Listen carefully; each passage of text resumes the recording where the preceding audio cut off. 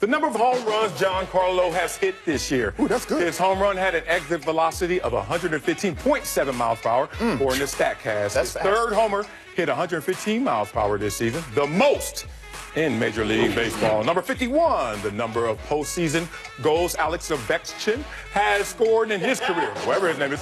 Ovechkin, I don't know that. You got it, you got it, you got name? Whatever. He had two goals last night, and the Capitals won four straight playoff games for the first time since Can they get to the 2009. What's his last name again? Finals? Ovechkin. Well, why don't y'all do this? Hey, number nine, the Celtics have won nine straight games, fives at home when the best of seven series is tied two and two. Ooh, Celtics will take on the Bucks tonight with the series tied two to two.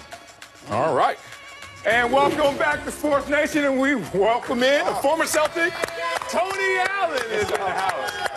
And- And not just a former Celtic, but a former Pelican as well. So let's talk about your team right oh. now. And the Pelicans are making some noise out there, some serious noise in the playoffs. They just swept the Blazers out of the postseason.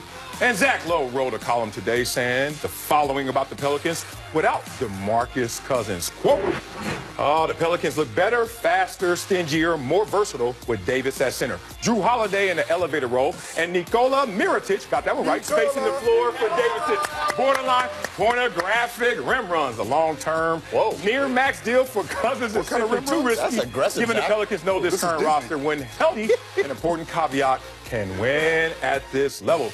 Tony Allen, do AD and the Pelicans still need DeMarcus Cousins? Uh, I would have to say uh, you wouldn't just throw that out the window saying that we don't need him, but uh, he's a talent, 20 and 10 guy. Uh, uh, well, I'm more concerned about his work ethic, is how he's going to recover from this. Obviously, the team's playing well with Rondo running the show, Anthony Davis playing at a high level. You got guys like Darius Miller and uh, E'Twaun Moore shooting high 40s for uh, from three. And uh, Rondo's been the catalyst of it all. And they look good now, but we can't. It's too early. I mean, it's just the first round. They they they, they beat the uh, swept the um, Trailblazers. Trailblazers, and we'll see how battle tested they are next round. Do you doubt he can recover from the Achilles injury? Uh, like I said, I, I can't I can't say. We got to see how his work ethic is over the summer, and we see how he come from there. I don't believe we've seen a big man have this injury and recover In from football, it. Yeah, yeah. so it, it, it's certainly tough. And- but look, I would say this, and Tony, you can agree with me or not, but I think that you always got to add more talent if you can get it, right? And that's on Alvin Gentry and the coaching staff and everyone involved to kind of make that thing work with DeMarcus Cousins if you can allow him back. Yeah, yeah. I mean, I, I've been, around him. His work ethic looked up to par to me, uh, but like I said, we never seen a big man come back from this. Yeah, it was truly devastating because when you look at the replay about how he actually injured himself, he was hustling, chasing the offensive rebound. One of the big criticisms was he wasn't a hustler, but he was committed. He had changed himself once he got to once he got to the new team. The other thing I think is interesting is we forgot when Anthony Davis was out, it was Boogie Cousins' name that we're like going, oh my God, this guy's like an MVP candidate. yeah, yeah. He's keeping them afloat without AD. So if that's what we're saying when he was playing, let's just wait to see if he's healthy before we decide whether or not he's trade bait. Uh, look, let's not gloss over this. Look, there's no I in team, but there is a me. And if it were me, I'm sitting at home rooting against my team's success because all it does is highlight how they don't need me. Right now, if you're a general manager sitting there saying max deal in one hand or second round or further in the playoffs without a max deal, what do you think smart business tells you to So do? So let me get this straight. Take the heart out of this. Come when on, you're not on this set, you're out somewhere in the Bahamas hoping that we fail here in Sports Nation. First of all, it's gonna be tomorrow when I'm not here, and yes, I hope the rankings tank. Damn right. Look, when I when I Especially because Keyshawn's going to be on. Hell yeah! Oh, oh man, please 0.0 rating. man. Real talk. When I left San Diego and I was in Dallas, I watched San Diego games and I got upset. I mean, just just primal emotion was like, Yeah. damn it, they out there winning. Them dudes end up going 14 and 2 one year. Oh, I was cursing everybody out because they were doing it without me, and I think that's what you have to think, especially in a contract year situation. There's no way you want this team to go far in the playoffs. What does that say about you, though? Oh, I wasn't that good. That's why I was going in the. Look, I got a healthy ego. I know when I was good. Wasn't that year. Uh, let's move on, y'all, to the Red Hot Rockets. And last night, the Rockets exploded in the third quarter. Say that again, scoring 50 points to crush the Timberwolves in game four. James Harden scored 22 of those 50 third quarter points himself. Outscoring the other team by himself. And no other team has scored more points in a quarter since 1962 when the Lakers scored 51. George, did the Rockets put the rest of the Western Conference on notice with that performance last night? Marcellus, what they did yesterday was let us know that, hey, the Rockets team that's been here all season in the regular season mm. finally showed up in the playoffs. Mike D'Antoni said that they had not been playing well for a couple of months. They certainly hadn't been playing well the first couple of games of this series. Not up to their standards. Even the game they won in a blowout, they shot like 38%. Mm. So the answer is yes, they have put people on notice.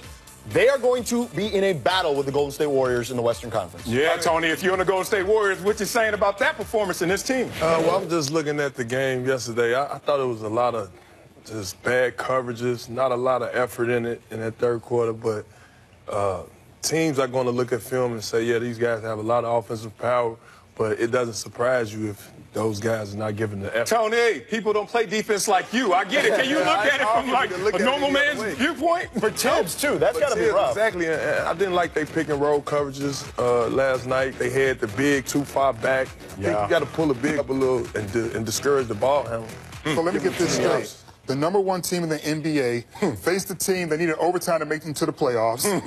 they had a bunch of guys who basically underperformed under Thibs. They had to bring in Derrick Rose out the streets onto the court. He's actually playing the best out of everyone in the postseason so far. Too. Shout out to Derrick Rose, love you much. Yeah, yeah. And we're surprised that this great offense with likely the MVP just crushed them by 50 points or had 50 points in the third quarter. I didn't learn anything. You didn't learn I anything? I didn't learn anything. I mean, it's only the second time because- someone scored 50 points in a quarter. Thank you. You had to learn that. did you not hear the dynamic I just said? Minnesota needed overtime just to even make the playoffs, and they're playing like straight booty. Their defense has not been Thibs' defense at all. I agree. And, I agree. No, I agree with that. Houston We hear you. Had, and Houston Rockets But had 1962, the Thank last you. time happened, Thank when that vest came out, like 1962, come on. Look, I ain't got to suck it in. 19 You gotta, you gotta coordinate, Marcellus. Ain't nobody scored that many points since that came This is, out. this, is, this is where I keep my snuff right here. Let's move on, y'all. I'm into it now. Uh, social media snafu. Ooh, question mark. Yesterday, Kevin Durant liked the comment on the Instagram post that bashed Russell Westbrook. Today, KD said he accidentally liked the comment. Tony, KD liking the comment on Instagram too petty? Yeah, that's that's a lot, petty, man. you gotta leave it alone, man. You move forward, got you a ring. You, you compete for a championship this year, Oklahoma City, where they down three one. Move forward. That's that's that's in your backyard. You don't need that. That is the pettiest of petty, and I love it because that's what the NBA does best is drama. Okay, they bring as much drama as any as any show on television, Yeah. let alone a sport.